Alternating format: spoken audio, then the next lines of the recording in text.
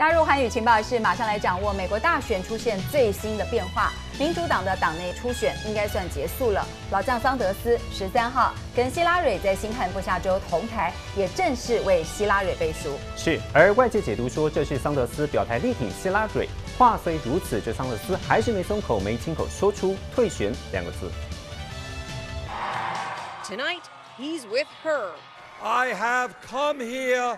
To make it as clear as possible as to why I am endorsing Hillary Clinton and why she must become our next president. 在民主党初选与希拉蕊缠斗一年之后，桑德斯终于落败出局。但他先前一直不愿表态力挺希拉蕊，直到在民主党七月底举行全国代表大会提名前，才终于愿意为他站台，并承诺将帮助他成为美国第一位女性总统。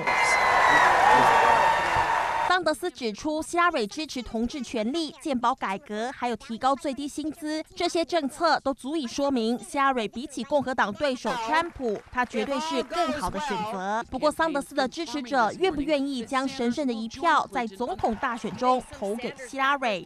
结果似乎不如希拉蕊阵营所预期。Will you vote for Hillary Clinton now? I will. You will. You're pausing. Um, is there anything Hillary Clinton can say? that would win you over over right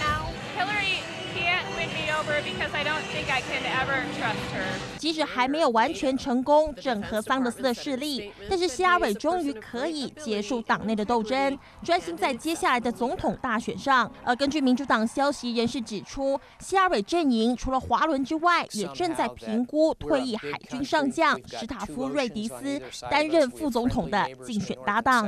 61-year-old Stavridis is the current dean of the Fletcher School of Law and Diplomacy at Tufts University.